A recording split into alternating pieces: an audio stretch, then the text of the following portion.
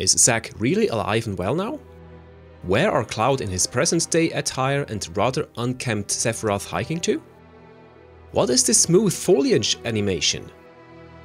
Why is there always a flock of birds flying from left to right over the screen? Did one of them lose a feather? Greetings, fellow scholars of the Lifestream. I'm Vyzzuvazzadth from the Cosmo Canyon Observatory, and in today's analysis, we will dive deep into the severely belated analysis of the first lock and the next installment in the Final Fantasy VII Remake trilogy called Rebirth. After finishing up the analysis of Final Fantasy VII Remake's mysteries and quite an extensive hiatus, I finally managed to get back into it again to bring you the Rebirth analysis goodness which has been simmering for over three quarters of a year now. Yes, it has really been that long. But enough dilly-dallying. Dilly dally, shilly shally. Let's jump right in. And as always, spoilers ahead for Final Fantasy VII, its compilation and remake.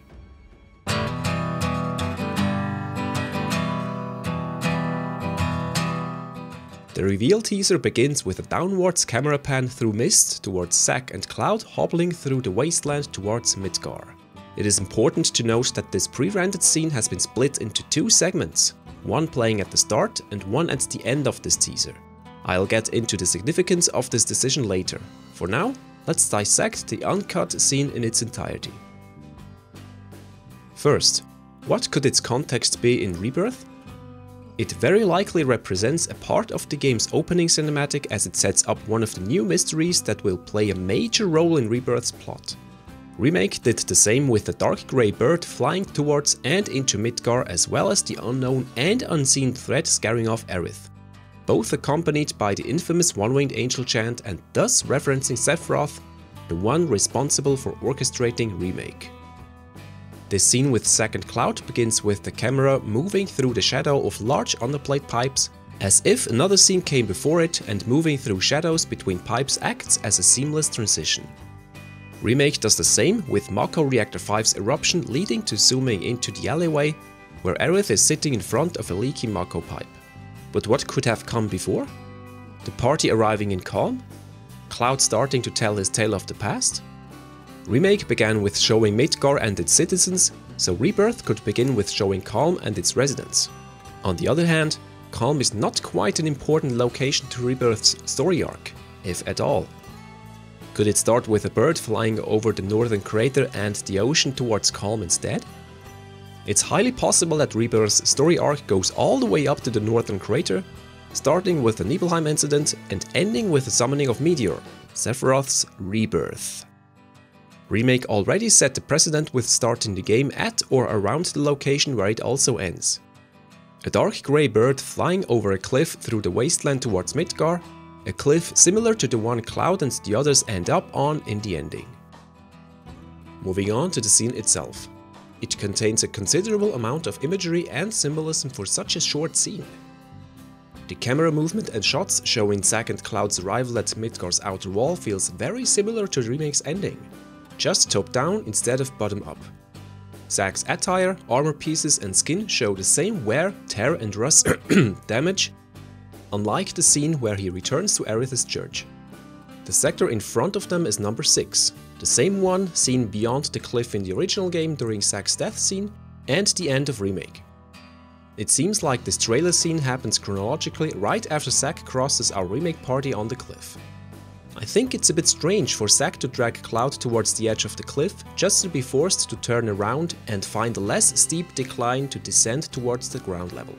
The very similar yet opposite camera movement does create a repeating reveal shot of the same characters in the same context, just at another location. Furthermore, why drag Cloud towards a cliff where he can't move directly beyond in this condition anyway? Just to take in the sights and show Cloud that they've made it? It is therefore possible that we actually saw Zack and Cloud approach Midgar during Remake's ending, which could explain the very similar camera movements and shots, and nigh identical animations of Zack and Cloud. Meaning, Aerith didn't feel Zack and Cloud hobbling towards the cliff but towards Midgar down below, and the cliff is only shown to connect the two parties through time and space. Remember, time and space have no real meaning in the Lifestream, the realm of memories. The different camera movement directions may therefore serve as a clue for this concept. Zack rising from the dead, bottom up, and diving into the planet's memories, the Lifestream, top down. Why the Lifestream? Take note of the myriad of green Lifestream particles floating among the mist above our heroes. Why would there be any Lifestream particles out there in the desert around Midgar? The pipes from the very beginning of this scene also don't make any sense spatially as Zack and Cloud are approaching Sector 6, which has no outer plate whatsoever due to its condition.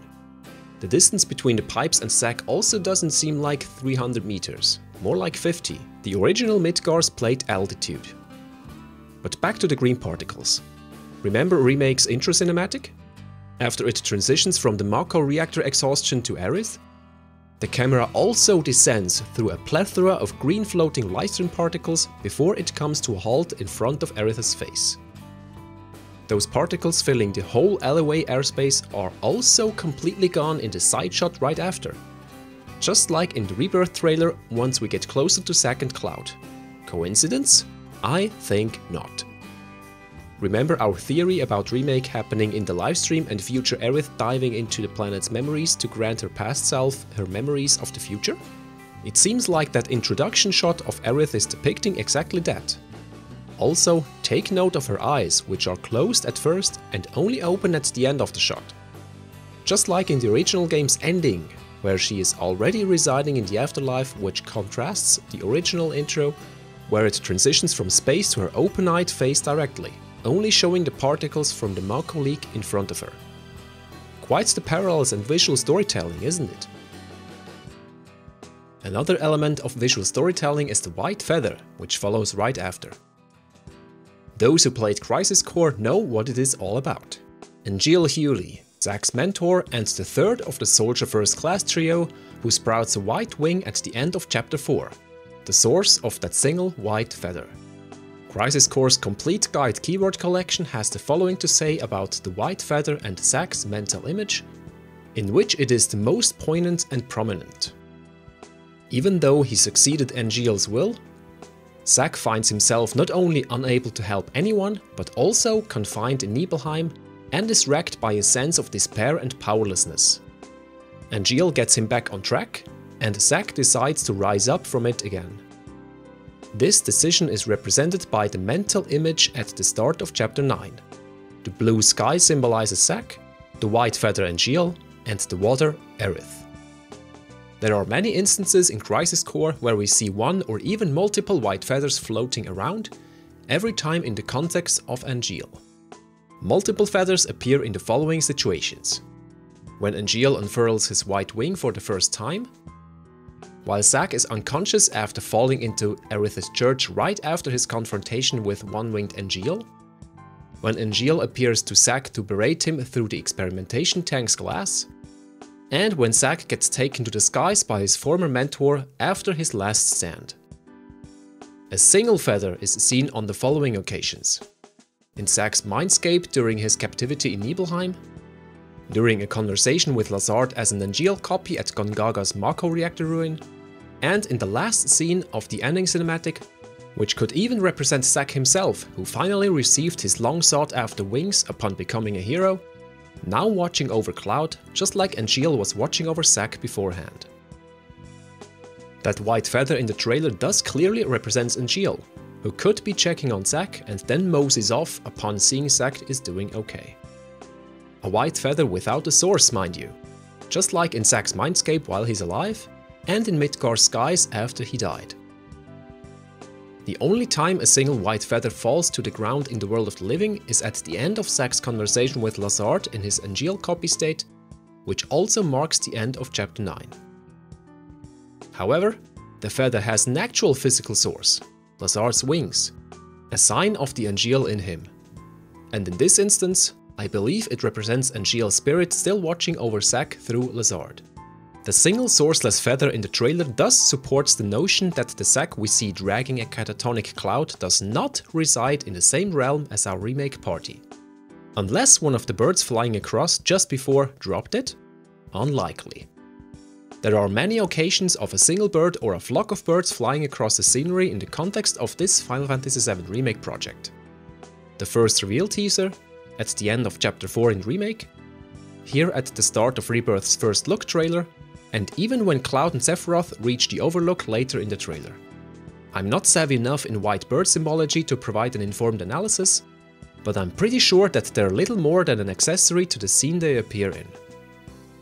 Maybe they are spreading hope or are a harbinger of change? Let us know in the comments. The last shot of the trailer shows Sector 6 from below. Besides being the closest sector to the fated cliff, there's a bit more to this sector than meets the eye.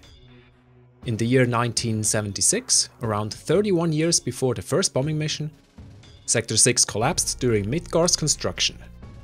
An excess in load-bearing capacity is thought to be the cause. Luckily, this happened pre-mass immigration, so casualties were minimal. This is confirmed by Aerith in Chapter 9 on their way to Sector 7. Back when they were still building Midgar, there was an accident, and the plate fell. People had only just started moving in, so there weren't a lot living there at the time, but...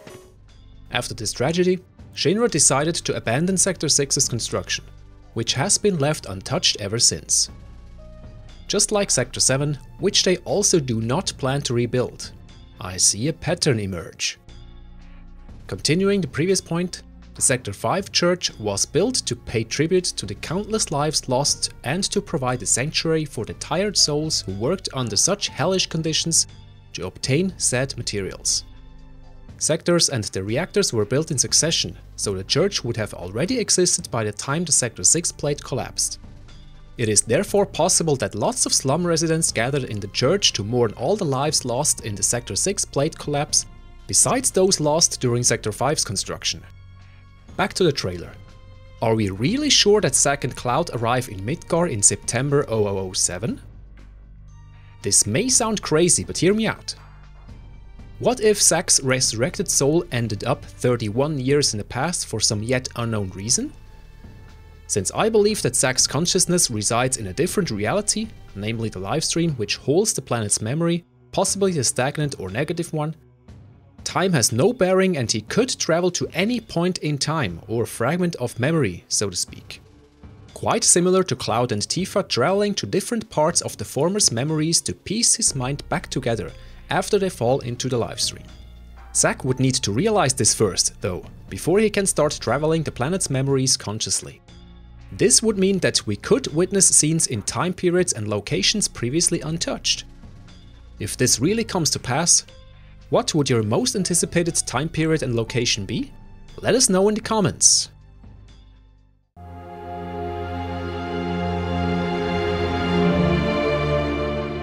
Alright, let's switch gears and move on to Cloud's Nibelheim incident flashback, of which the trailer shows two brief segments of their hike to the Nibelheim Mako reactor. Contrary to certain theories, it is just that. Cloud and Sephiroth walking from Nibelheim towards Mount Nibel. This was confirmed in a developer interview conducted and published by the popular Japanese news outlet Famitsu. The interviewer asks, And about FF7 Rebirth, is the scene where Cloud and Sephiroth are walking a reminiscence of the past by Cloud? Nomura replies, yes. Due to information restrictions, some of the display has been erased, but I say this because I don't want people to think it is a new scene. Then Kitase adds, I think the mountains in the distance were a distinctive feature of the scene, so it might help you remember the original work. The camera position feels a bit off at times, but it's certainly Cloud who is being controlled here. It looks like the camera is much more dynamic in Rebirth to elevate the environment and scenery. Or it's trailer magic, take your pick. And I wonder if those two ledge hopping animations by Cloud are triggered because the player crossed hidden obstacle interaction indicators also found near ladders, for example. In any case, it does follow Cloud more than it does Sephiroth. The latter needs to remain unreachable and controlling him would take away from his enigmatic presence. What also feels a bit off is Sephiroth's haircut, which looks wider at the bottom and horizontally cut off and thus feels less groomed. It doesn't lead into this neat tip we see in Remake and Crisis Core Reunion, the most up-to-date entries in the FF7 compilation design-wise. Is this change a hint towards Cloud's story not being quite accurate or just a weird design choice?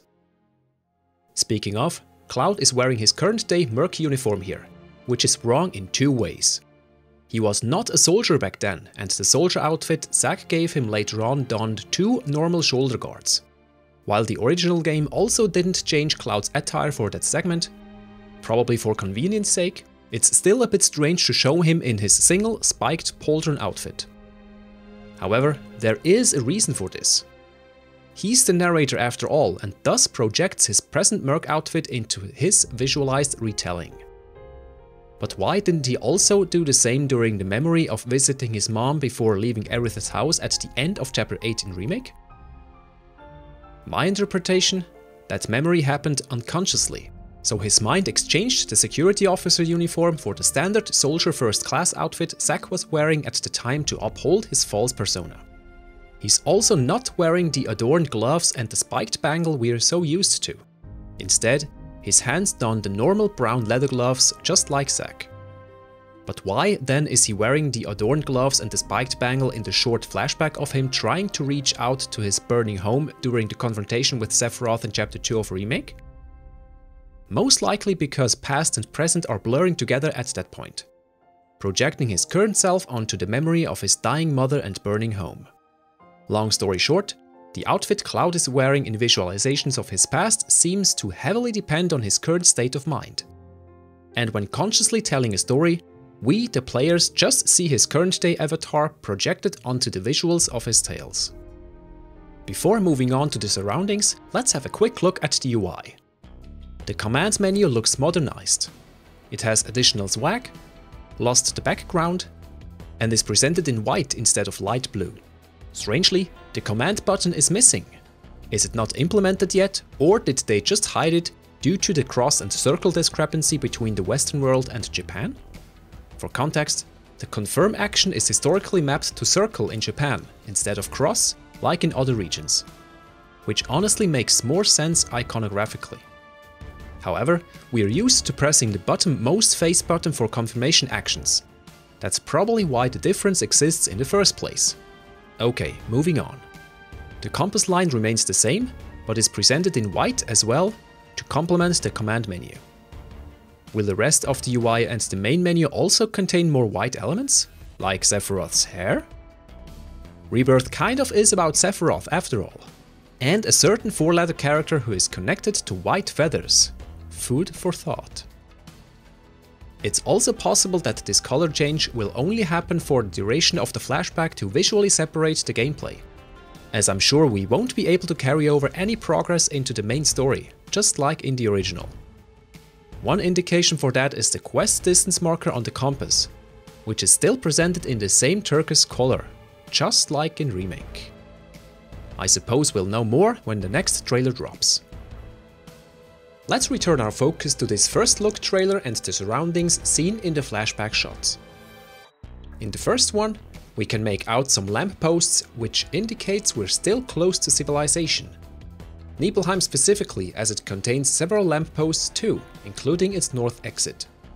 Even though the original game and Crisis Core have much different designs.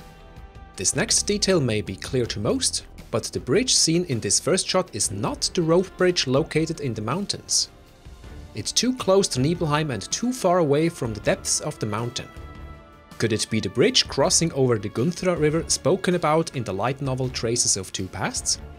It's where Tifa encounters Zangan for the very first time, so it is an important location. Here's a brief excerpt mentioning the river. As she ascended, she kept her gaze fixed upward, watching the clouds rolling high in the sky. Before she knew it, she had reached the banks of the Gunnthra River. Fun fact, in Norse mythology, the Gunnthra River is one of 11 rivers which originate from the wellspring Hvergelmir, one of three springs at the primary roots of Yggdrasil, the cosmic tree of life. Incidentally, Hvergelmir is located in the center of Niflheim, the land of mist and namesake for Nibelheim in Final Fantasy VII. Here's a short excerpt from the Prose Edda which mentions the river. It was many ages before the earth was created that Niflheim was made, and in its midst lies a spring called Hvergelmir, and from it flow the rivers called Svol, Gunnthra, Fjorm, Fimbulthur, Silder and Hirder, Sylg and Ilg, Vid, Leipter. Yol is next to Hellgates. Another interesting detail of note is the vegetation. We see lots of plant life and trees besides the path and beyond the bridge. However, once we reach the cliff, the beautiful overview shot reveals that vegetation beyond this point has essentially died out as we can only make out dead trees. A harrowing reminder of the effect Mako reactors have on their surroundings. We can even see a few less healthy looking trees along the canopy of the forest ahead in the first shot, a harbinger of what's beyond. At least the foliage is reacting in a physically accurate manner to passersby. Pretty neat detail. We can barely make it out, but the Nibelheim Mako reactor is located in the valley beyond to the left, looking like it's built into the mountain. One big indicator is the large pipe coming out of it. It can also vaguely be spotted between the trees in the first shot. Why? Because we can sort of make out the circular metal bars construction around its lower parts in the Japanese trailer. The English and German versions unfortunately exhibit more compression artifacts in that region. But we can at least see the circular tube-like structure above thanks to the curved lights around it, which basically confirms this to be the Nibelheim Mako reactor. Unfortunately, we do not have access to the source version of this trailer and need to make do with the crappy YouTube version. Besides the lonely Mako reactor, the developers decided to flesh out the area in Rebirth to make it feel more like a real place. There are outposts, warehouses, refineries and maybe even some housing around the reactor and its vicinity. In addition to that, electricity masts, small short-range ones as well as large long-ranged ones, are also present. While the mountain segment closest to the reactor looks like a normal rock face, the rest of the Nibelheim mountain range is presented in its signature jagged formation, especially in the upper right two-thirds of the screen. A very haunting yet intriguing sight. Besides man-made structures and the mountains, we can also see parts of their path towards the reactor.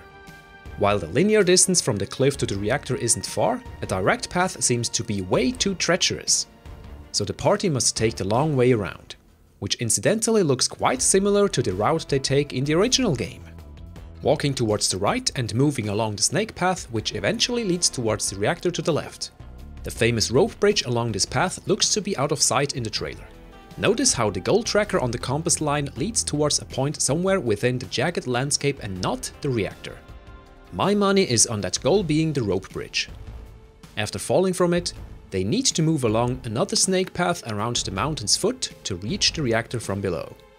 Which leads me to believe that this higher and horizontal road above the buildings below may have been the desired road before the rope bridge snapped under their combined weight. While this unfortunately wasn't the case in the original game, we can now see our destination long before actually reaching it. Which I think is a great choice from a game design perspective. We are not even halfway there, but are already presented with the visuals of our destination.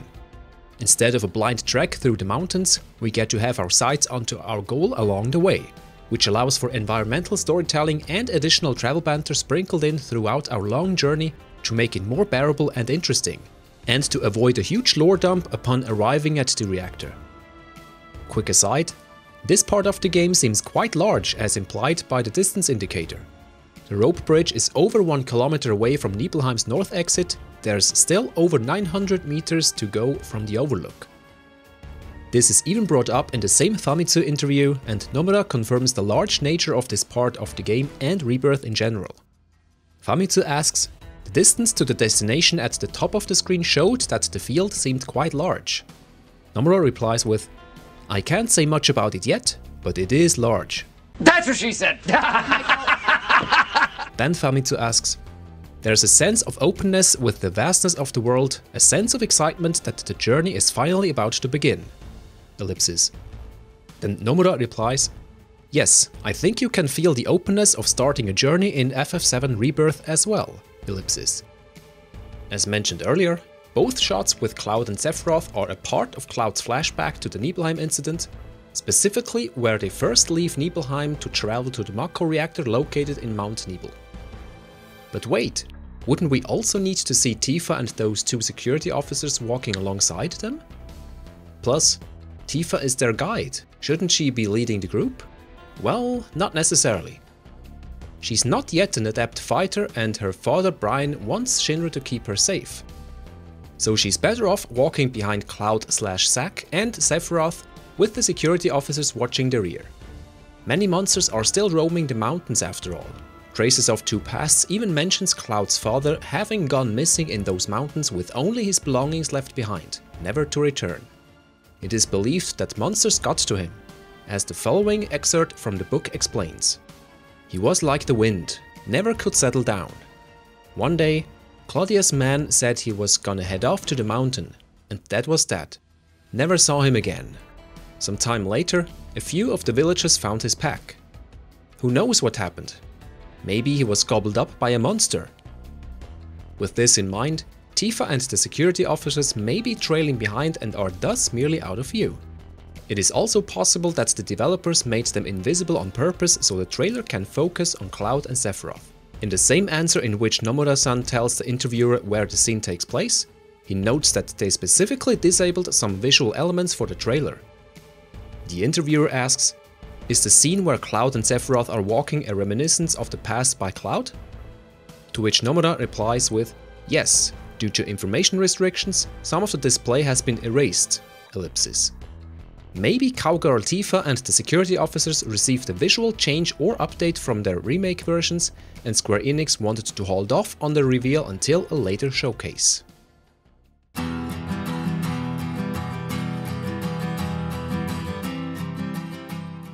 At the beginning of this video, I mentioned that there's a significance in splitting up the scene with Zack and Cloud, so let's get to it now. If you merge those two parts together, they form a continuous scene, nothing was removed. But with moving the second half to the end of the trailer, the scene with Zack envelops the flashback scenes. Why does this matter? This structure basically describes the nature of this remake project. The core remains the same, but will be expanded upon as represented by the flashback scenes. That core is then wrapped into a new mystery that differs greatly from the original, as represented by those two halves of the scene with Zack. Quite poignant, isn't it? We are only halfway done, but that's it for now. We still need to go over the dialogue in the trailer, the quote stingers in between scenes, the meaning of Rebirth, and more about its story arc, so please look forward to that. Before I leave, I have a quick update for you. We are performing a significant paradigm shift in the near future, which will allow me to publish more content more often, albeit in a different form. When everything is set and ready, I will let you know on Discord, Twitter, and the community section on YouTube. In the meantime, let's have a discussion in the comments and on our Discord server.